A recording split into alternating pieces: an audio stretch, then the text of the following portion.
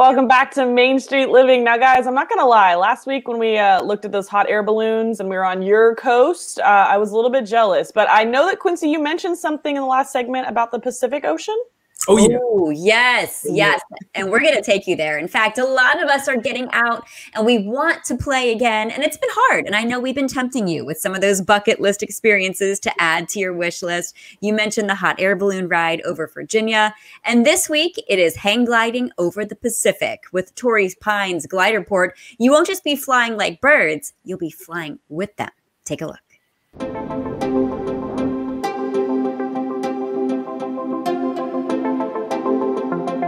So I've never been gliding. I'm really excited. I've been um, parasailing, skydiving. I really love the thrill of it all and that freedom. So I am really excited, more so than nervous. The glider port has been in operation since the 1920s. The way that people started uh, flying out here wasn't a, a gliding plane. The sport became slowly more and more popular here until the beginning of World War II. So we have the lovely Cliffhanger Cafe and it's uh, one of the best places to enjoy a nice sandwich, soup or salad in San Diego and of course the best view in town.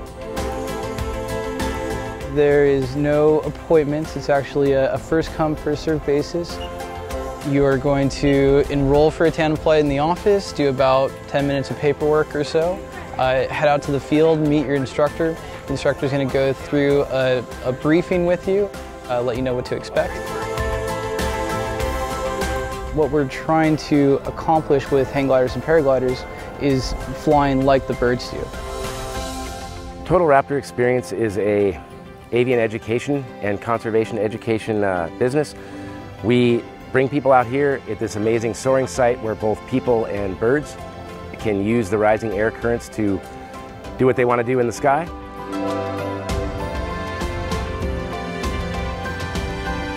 Every time I take somebody for a tandem flight, I always get to relive that experience of you know their first time being off the ground in a, in a paraglider. I've been wanting to paraglide for the longest time, and today's the day I did it. Everybody reacts a little bit differently to it, but you know, for the most part, it's it's excitement, fear, um, elation, and, and a realization that it's really just not that terrifying to be up there. It was incredible. I got to be honest with you. At the beginning, I was a wee bit nervous.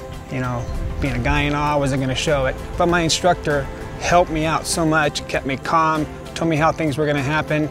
It was a win-win. We took off. It was like being a bird. I have paraglided all around the world, and this is the singularly best place to bring other people into this sport, show them what it's all about, and give them the experience of free flight um, in an absolutely beautiful environment with perfect wind conditions. It is truly one of a kind. I was completely blown away by all the sights and all the sensations of the smooth sailing. I didn't realize that we were going to get so close to the cliffs. That was something completely unexpected. I mean, if I put two of my legs together, I could probably reach the cliff. um, it was really cool, and I mean, even going over the side of it, that was the view that I did not expect whatsoever.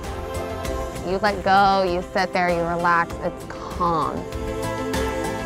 It was very cool, very, very cool.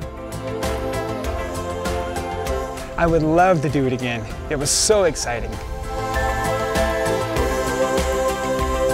The youngest person I've taken was my daughter at two years old, and the oldest that I've taken was uh, 94 years old. So any age, any um, you know ability can come and enjoy free flight with us.